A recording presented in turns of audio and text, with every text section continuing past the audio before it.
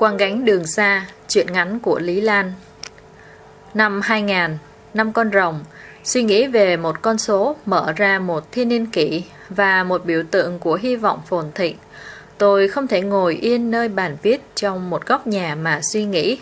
Khả năng suy tư trên đôi chân chuyển động chắc là được di truyền từ ông bà cha mẹ tôi.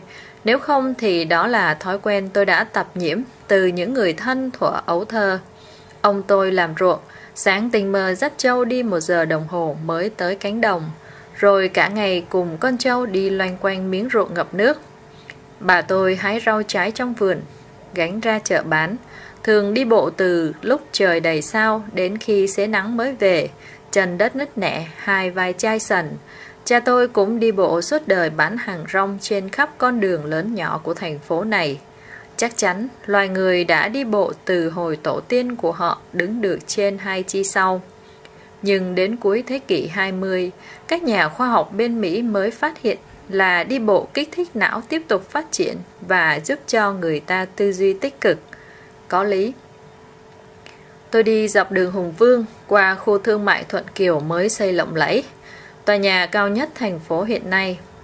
Băng qua khu buôn bán sĩ soái Kình Lâm, tới chợ Bình Tây, tấp nập đủ loại hàng hóa, rồi trở lại đường Hải Thượng Lãn Ông, mà mỗi nhà mặt tiền là một cửa hàng.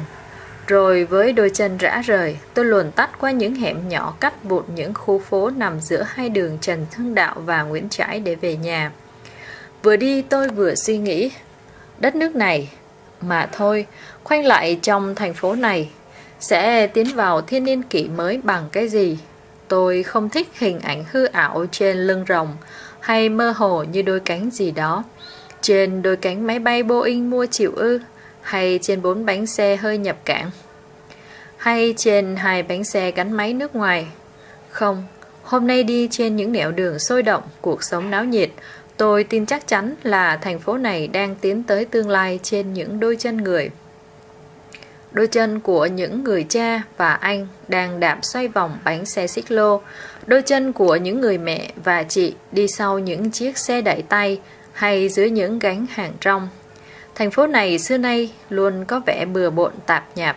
Nhộn nhạo là bởi vì luôn có một lực lượng lao động đông đúc là những người lao động tự do, buôn bán lẻ di động. Không ai biết chính xác con số là bao nhiêu, và có lẽ thuế má họ đóng góp cũng không đáng kể. Không thể nói họ là động lực hay tiềm năng phát triển kinh tế, mặc dù ở một khía cạnh họ cũng tạo nên nét đặc thù của thành phố này để cho ngành du lịch khai thác, nếu biết khai thác. Ít vốn liếng, không chuyên môn mới đi bán rong, đạp xích lô, trong khi cái thế giới đang toàn cầu hóa này đòi hỏi một đất nước muốn phát triển theo quỹ đạo chung phải có lao động kỹ thuật cao, vốn liếng đầu tư nhiều.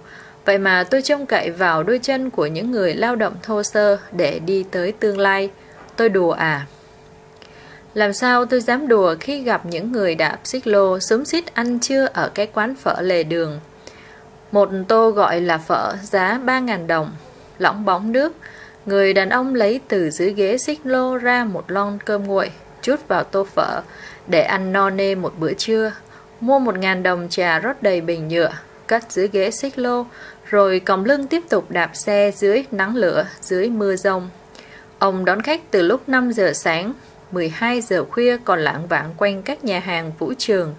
Vừa chở khách, ông vừa tính toán tiền sách vở, đồng phục cho hai đứa con ở trung học, tiền trường cho đứa lớn vào đại học, Ông nghĩ đến ngày tự trường gần kề mà đạp nhanh lên để tranh được nhiều khách hơn, sẵn sàng chở hai ba người với đồ đạc cồng cành để được thủ lao khá hơn. Tôi không hề đùa với người mẹ quậy gánh hàng rong gồm mấy phong bánh nổ, mấy ký đường phèn, mấy sấp bánh tráng khoai từ miền quê nào đó đến đây, đi lang thang khắp nơi, khản giọng rao hàng, đêm chen chúc trong một trái nhà trọ, chung với những người đồng hương đồng cảnh khi gặp mưa rột, người mẹ ngồi thu lu cầm cái nón lá che gánh hàng, tự động viên rằng ở quê nhà con cái cũng đang co ro trong gian nhà trống. Mùa đông mặc áo rách đến trường, ăn khoai trừ bữa, chờ mẹ đem về cuốn tập cây viết.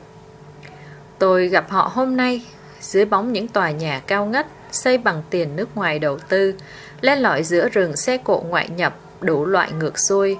Họ không ngước nhìn những tiện nghi xa xỉ để mơ mộng viễn vông. Nhưng khi rong ruổi qua các nẻo đường thành phố, họ biết có những cái này hay cái kia mà ở làng quê mình không có. Họ không cúi gằm với mặc cảm hèn mọn, vì nhờ gặp gỡ người này người kia mỗi ngày, họ có lý do tin rằng nếu con cái mình được ăn học bằng người thì chúng cũng vươn lên trong ánh mặt trời. Thỉnh thoảng tôi gặp con cái họ trên mặt báo. Đứa đậu thủ khoa vào đại học, đứa đạt danh hiệu học sinh xuất sắc, đứa được học bổng du học. Người ta viết về những điển hình tuổi trẻ ấy, có nhắc qua loa về người cha đạp xích lô hay người mẹ bán hàng rong không tên tuổi hình ảnh.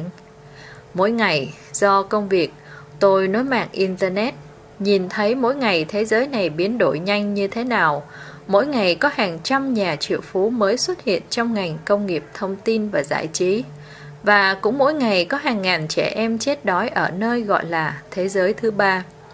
Mỗi ngày lại có thêm phát minh mới, số người có máy tính tăng lên, số máy tính nối mạng nhiều hơn, trái đất đang nhỏ lại với hai chủng người. Người ưu việt điều khiển thông tin và người thua thiệt mù thông tin. Những kẻ ưu việt điều tiết gen để nói giống mình siêu việt hoàn hảo hơn. Sao bản thân mình để sống đời và sẽ diệt vong những kẻ thiện cận cúi đầu, bưng mắt bịt tai. Mỗi ngày nhìn thế giới lại thấy một xu hướng thay đổi và tách biệt rõ dần. Trong cái thế giới đó, tôi thấy đất nước mình giống như người mẹ vai gánh nặng trên dặm đường xa. Hình ảnh vất vả, cũ và buồn quá. Nhưng tôi không biết có phép màu nào khác hơn sự dũng cảm bươn trải cần kiệm của người mẹ ấy đầu tư tất cả cho những người con. Bây giờ, tương lai không là năm 2000 nữa, người ta tính tới năm 2040.